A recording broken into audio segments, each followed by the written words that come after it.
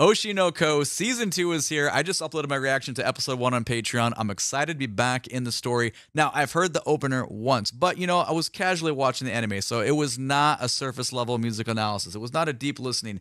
That's what we're gonna do right now. This is Fatale by Gem. I'm excited. Let's go.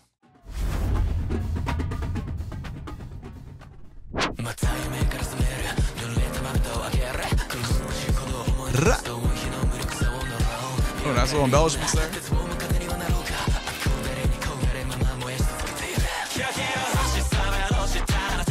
Nice energy shift. Oh yeah, the castanets. I forgot.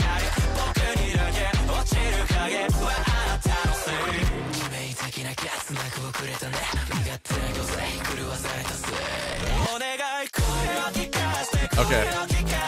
Matt, the first 30 seconds, the intro is nice. You got some serious energy there, and then we like divert it in a different direction. Okay, moods and tones painted by two predominant things obviously, the vocal line and then the keyboard, all the synth piano stuff happening underneath. Take a listen to the vocals right here.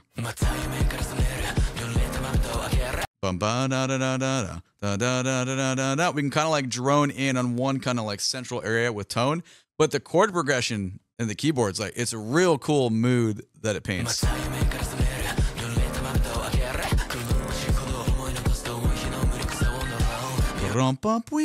Little jazz elements, you know, like kind of bluesy, but you can hear where you're at because the progression is really cool. Uh, you're very blatantly.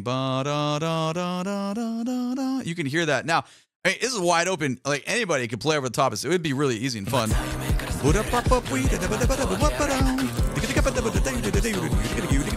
You know, like you know what I'm saying? Like it's super accessible, but like really good. And obviously, the quarter note pulse and the percussion is going to give you that kind of like minimal house feel. It really shifts gears in a second, but the tempo's bright. Like it's not slow. We're pushing. Quarter note pulse is right here. We're going. It's got places to go, and it does go places with the next shift. But you know, I, I feel like it's still wide open enough that it sounds simple, even though we know that those middle like layers, all the synth lines are going to get more crowded uh, in a second. But all right, let's take it through this part again. I like that little. I didn't even notice that the first time.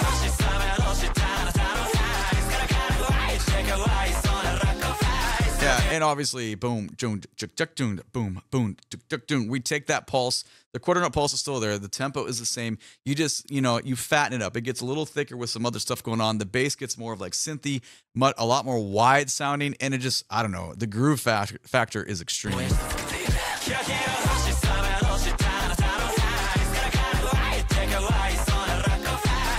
The other main difference is, well, it's not really a difference. I, I love the fact that the castanets, like Spanish hand percussion, it's very cool. If you've never seen a castanet player, go on YouTube after this and just look it up and be like, oh my God, it's amazing. Then try to play it and hate yourself because it's so difficult.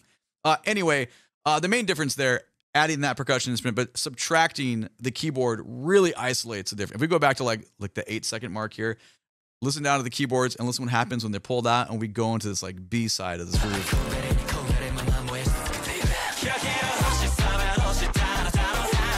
Very different feel.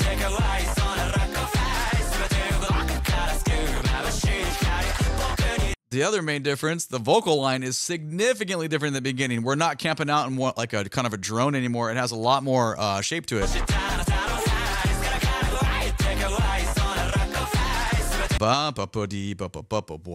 It's just a lot more wide open though. Okay, we'll, we'll let it go this time, I promise.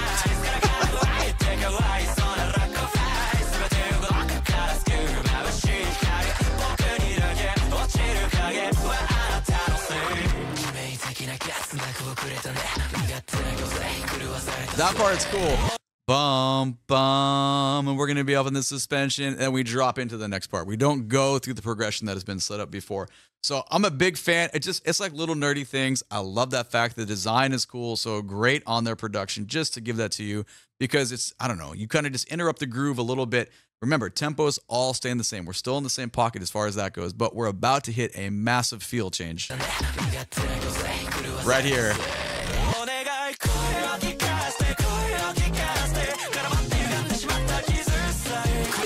A lot more crowded. That's very cool. Yeah, so cool stuff. I like the callback, the the call and response there in the vocal line. It's nice, but the biggest difference here has the tempo changed? No, that's very consistent. We're still right here. It's more boom, boom, boom, boom. The feel is completely manipulated to give us a very different listening experience. Now, I said it's thick in sound because you got all these like little like cute like synth sounds going on. It's super like programmed out. It reminds me like Clay Aeschliman, like Polyphia's drummer, like it's like borderline. I don't know. It's not trap esque, but like has like little elements in that. The biggest thing, the only reason we're really talking about it is because of the contrast and the groove and the feel we have in the beginning, the little fill section we have some suspension, and now we drop into this because they're completely unrelated to each other, yet they're in the same song and they sound really good because normally that's a little bit more of a difference when we get between a verse and a chorus. But I'm here for it because, well, I was expecting this because of I don't know, the past two years of listening to so much like Japanese anime related music, like my expectations and uh, what I used to think was normal has just like it's altered in a good way though. I like it. I like where we're at. Anyway, back couple seconds. Let's keep going.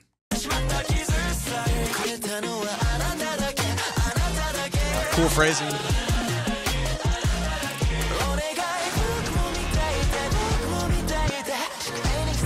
Should be obvious. All the callbacks as far as the grooves and feels.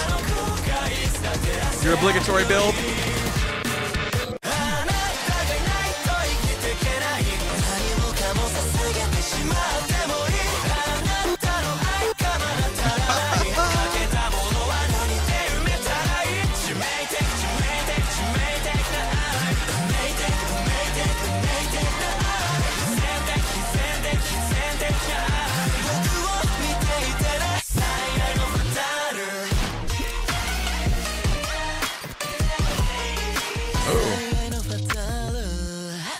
Ba ba ba ba ba. I didn't catch that the first time. That's cool. All right, we go back and listen to this like closing chunk. It's quick though. It's only minute thirty.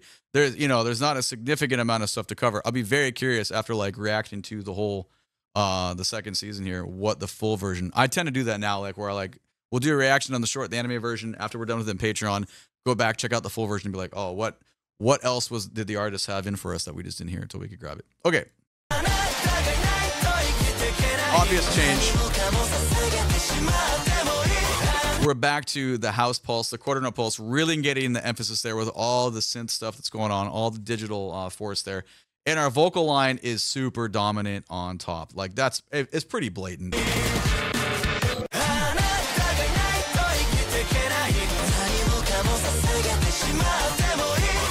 And we're kind of all over the place. And then we jump registers, and there's all these like little intricate like noises that are going on within the line of the production. Uh, it's cool, but it's like, I don't know, ears, ADHD stuff. There's a lot. I, I, dig it though. Like there's a lot happening. I'm just like thinking like, oh, what can we do here? What what could we do here? There's just a lot to go on. Some people like if you're watching this video, you probably like the song, so you're into it. But trust me, there's plenty of people who listen to this and be like, whoa, that's a lot there's a lot to put my ears on. It can be, you know, like exhausting for someone's ears.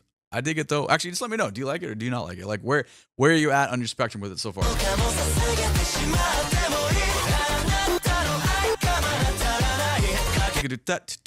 I like all the little offbeat stuff. That's fun.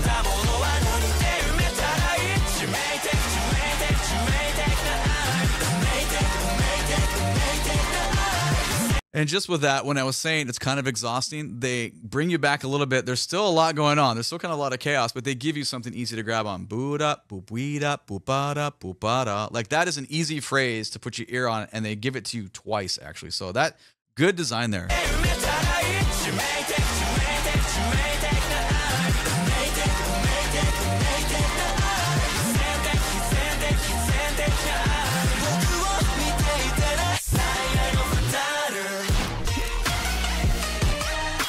Boom, now we go someplace. It's similar. It's not the same. We're it's kind of like an A B C kind of a thing going on. We have like verse and chorus, and we get some. You know, we drop into this. I don't know what you want to call this, but the mode the mode feels a little bit different musically speaking.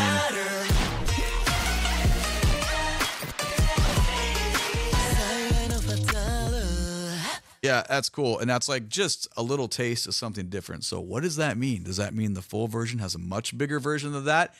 Is that like telling us more about the anime? Where we got a theme and it's gonna like break out and give us something completely different. I mean, it depends on how much you buy into like foreshadowing with music and you know on the composition side. Do they how much of a spectrum do they have of where the, where the story is going? Do they foreshadow that within their tunes? I don't know. I I read stuff all the time and everyone has a lot of ideas. But anyway, uh, I like this. I definitely am looking forward to doing a reaction to the full version when we're well in it. So let me know what you think about it down in the comments below.